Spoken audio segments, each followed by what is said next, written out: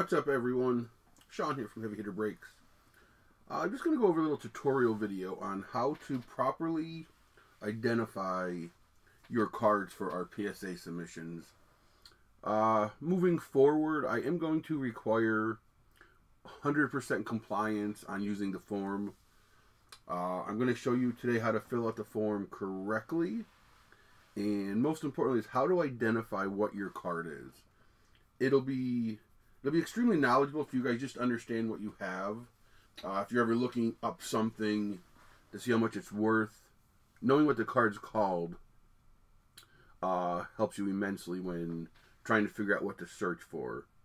So, hope this helps. Uh, I will be making a post to later today for February shipment.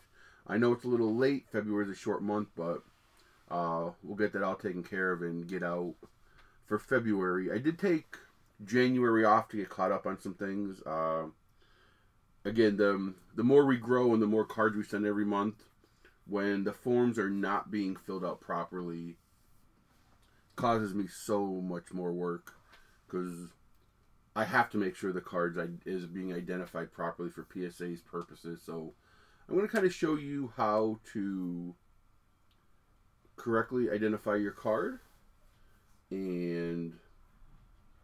we'll go from there.